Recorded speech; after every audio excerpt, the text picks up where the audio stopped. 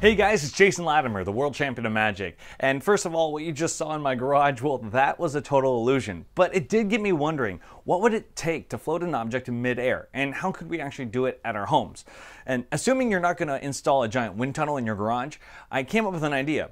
Here's a science experiment you can build, and it uses the Coanda effect. Okay, here's a great magic trick you can play on your friends. Take a ping pong ball and concentrate really hard.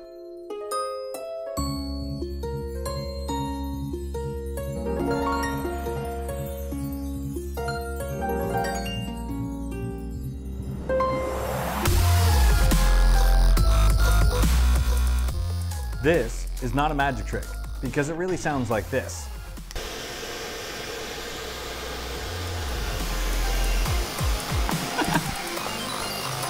Okay, so this experiment is really easy to make at home. It uses the top of a water bottle that's been cut off, and I've taped it to the top of a hair dryer.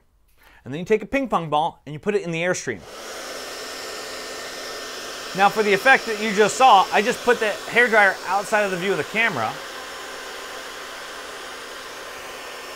And if you dub your voice over it, you can make it look like magic.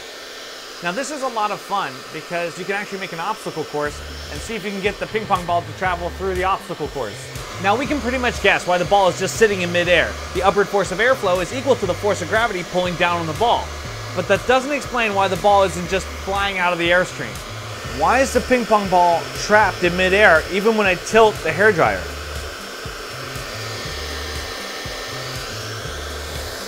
Well, if you don't understand it, you probably would call it magic. But it turns out scientists have actually figured this out. But before I get into that, let's talk about air pressure.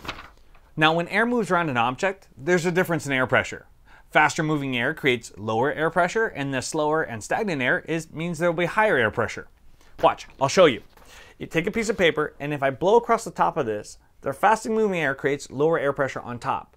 And on the bottom, this is now higher air pressure because it's slower. Watch.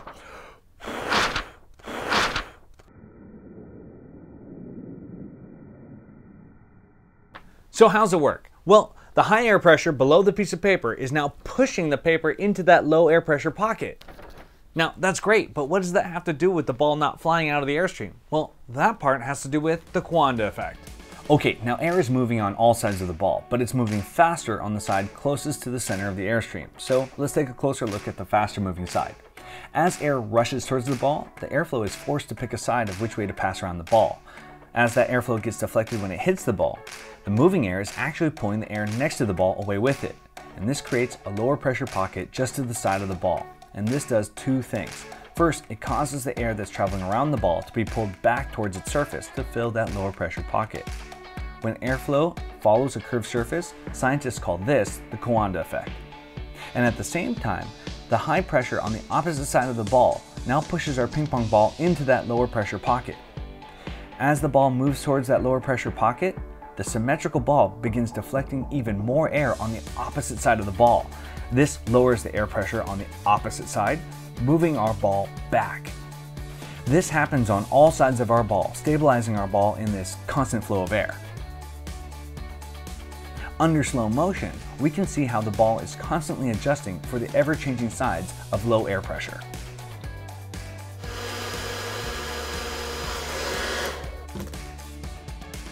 Well, that's it for today. I hope you enjoyed Impossible Science at Home.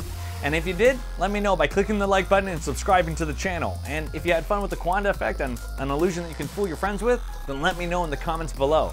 And until next time, stay curious, because the right question changes everything.